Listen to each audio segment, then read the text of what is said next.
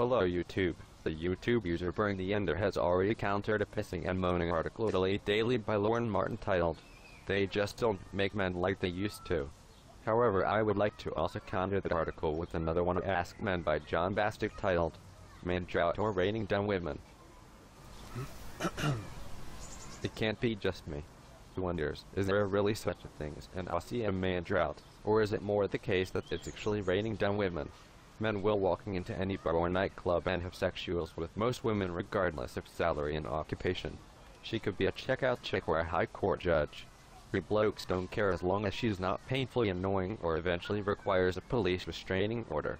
Very simply my theory on the man drought. Read propaganda made up by annoying women. It is based on the loose science I have just this second made up. Women have been conditioned to shag upwards. Be it through the shit TV shows they watch or all the crappy magazines they read. They all want this Brad Pitt look-alike. On a million dollars a year who has three Porsches parked at his beach house. Sadly, however, this man simply does not exist. And even if he did, Jodhi Meares Packer would have married and subsequently fleeced him years ago. For this reason am I wrong in surmising that the women most likely to piss and moan about the apparent man drought are white collar and middle class with exciting jobs in PR and media sales, and whose favorite topic of conversation is shopping and hair dye. This leads me to the brazen assumption that the problem's actually not us blokes. Could it be, dare I say it, a fault of all the single ladies? All these single ladies. So in reality it is not man drought at all but rather it's a no rich bloke with Fabio good looks a stack of fast cars and a whopping cock drought. I'm guessing most of these women who are claiming they can't find a fella have some sort of tertiary education. A city job makes 72 80k and would be considered moderately attractive. However, when they walk into a bar full of tertiary educated, city working, 72 80k, moderately attractive single men, they'll claim there's no good men to be found. If Animal Kingdom has taught us anything, it's that you need to mate within your own gene pool. Sadly, it's extremely rare that you get to mate outside of it, save for Princess Mary or Jodhi Meares Packer, who are obvious exceptions to the rule. So the tip is simple. Don't mate up. Mate across?